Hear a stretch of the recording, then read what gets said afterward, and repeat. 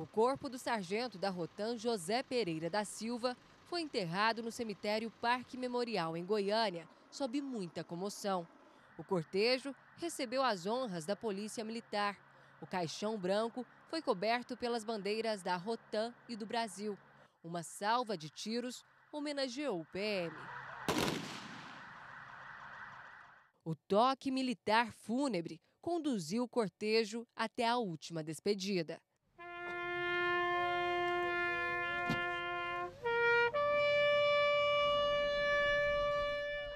As honras militares também vieram do céu.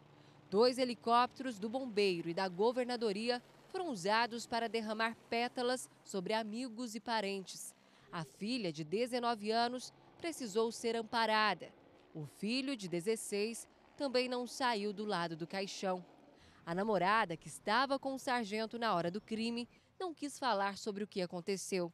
Eles estavam juntos há seis meses.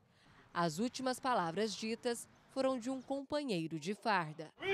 Uhá! Obrigado, meu Deus, por ter a companhia desse homem, amém? Foram mais de 20 anos de serviços prestados à Polícia Militar, a maior parte deles na Rotan.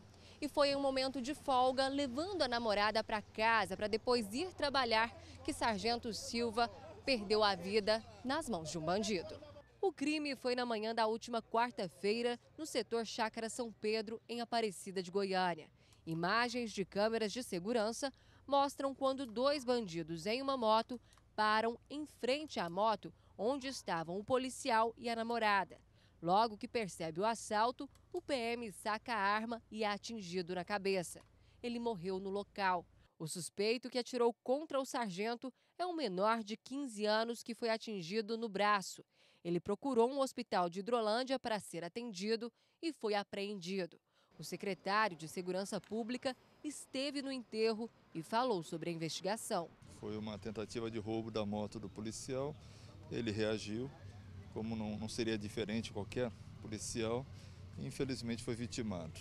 Temos em princípio dois, um preso, um que está em via de ser preso, e tem um terceiro que tem uma, uma uma, teve uma atuação subsidiária, mas também que nós estamos no encalço. Teria escondido a moto ali? Exatamente, exatamente. O terceiro, a gente deve esclarecer isso até o final de semana e apresentar todos para a justiça e para a imprensa.